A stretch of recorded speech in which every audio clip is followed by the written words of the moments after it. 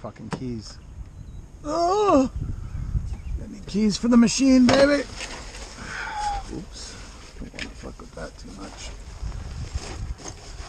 Keys for the machine. The big beast.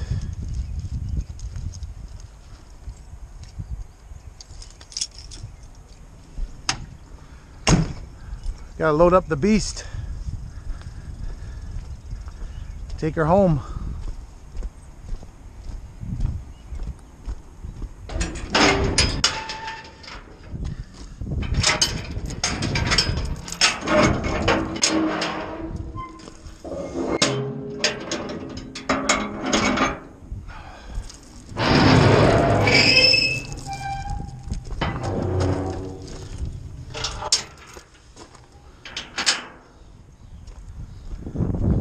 So this bin we had built specifically for, well, it could be any bin for anything, but we did have it built for floating equipment. That's why it has upper D-rings, lower D-rings, front and back D-rings, so that we can strap or chain down properly, whatever we need to.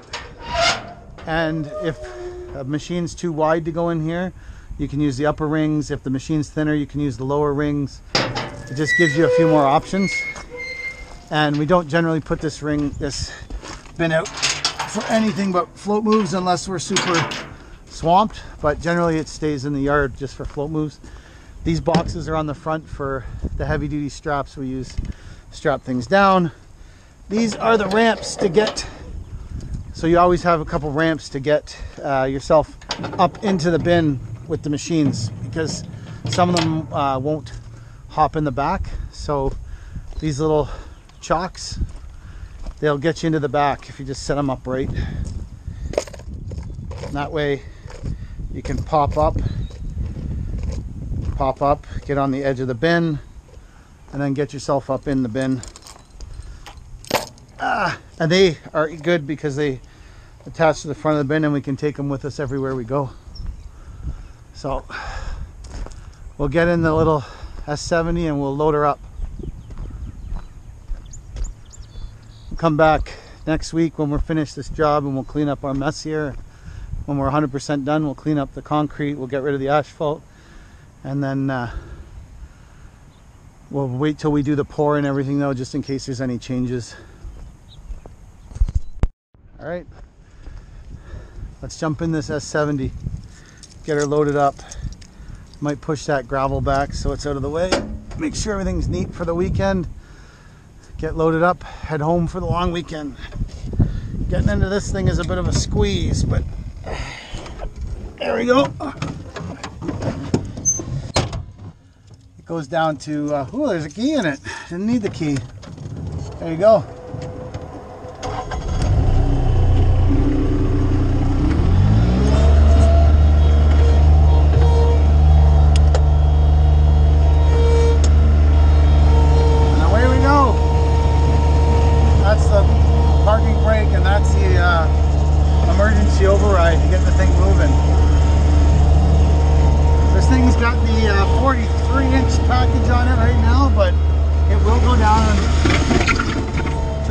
Six-inch package. So we'll have to next week get rid of this concrete.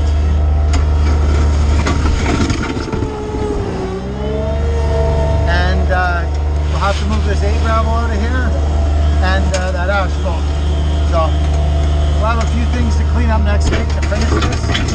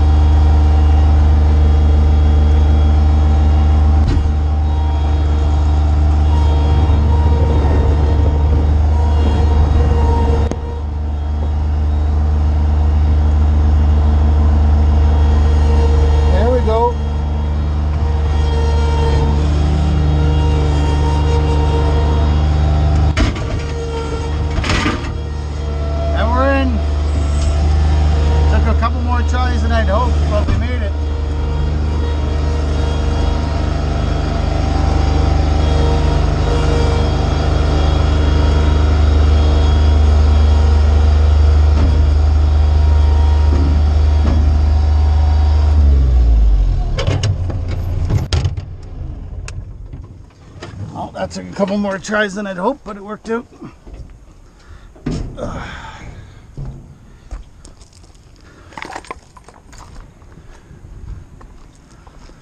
guess I just my aim, maybe because I'm old, my aim is off now.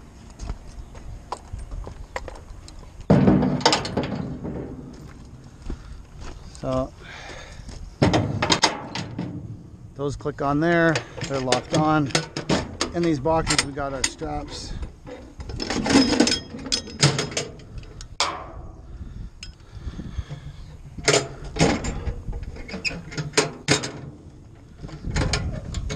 And then these just like that. Stay on there.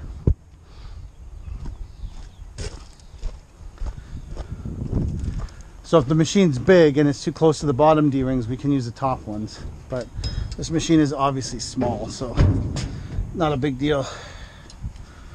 We can uh, use the the bottom d-rings no problem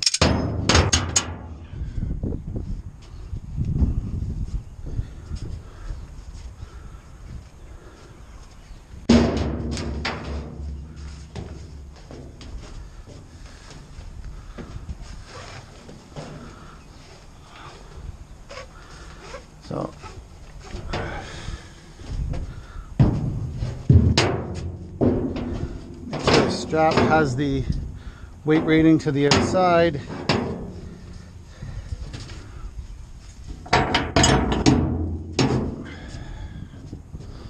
Make sure it's flat all the way across, not twisted.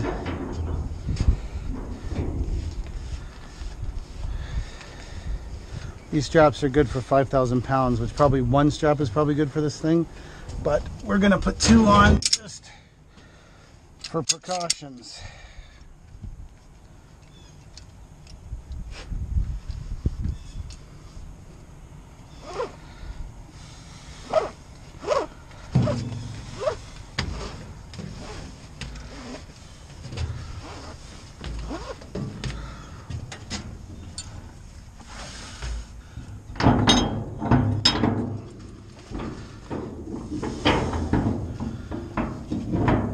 Oh, there we go.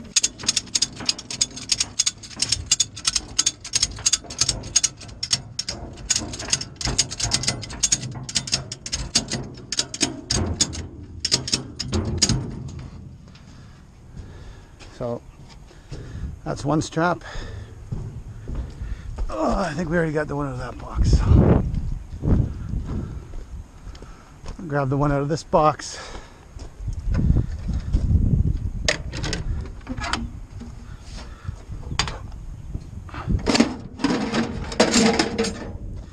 This box got a little fucking crushed because it went out. This is what happens when you send these bins out fill bins. This box got a little fucking mashed with someone filling it. Which still works though. We live in an imperfect world. It's part of it. So this strap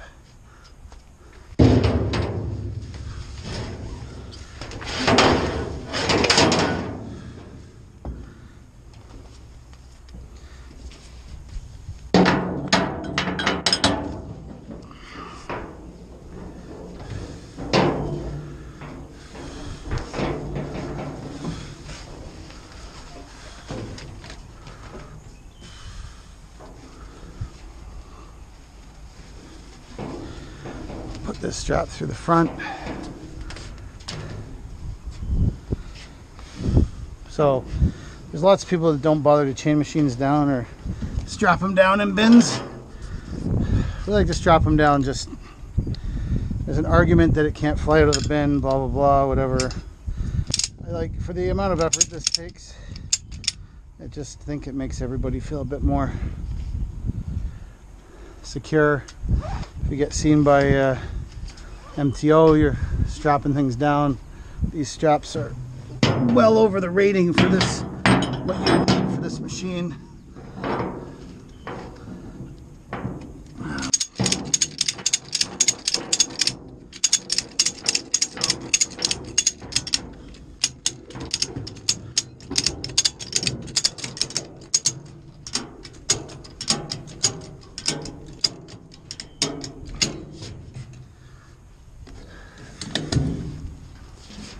go.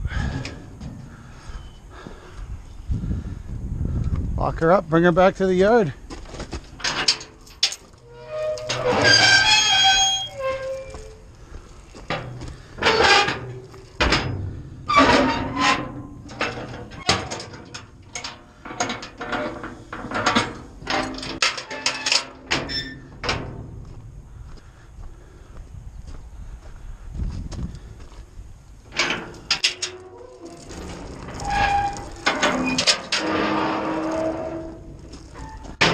To do these in order. You got to go one, two, three. Or it causes total fucking chaos if you don't do it in that order. And we always lock these chains just for extra safety in case something happens. But there you go. Pick her up and we're on our fucking way. Another successful another successful float move. Well, start of a successful float move anyways.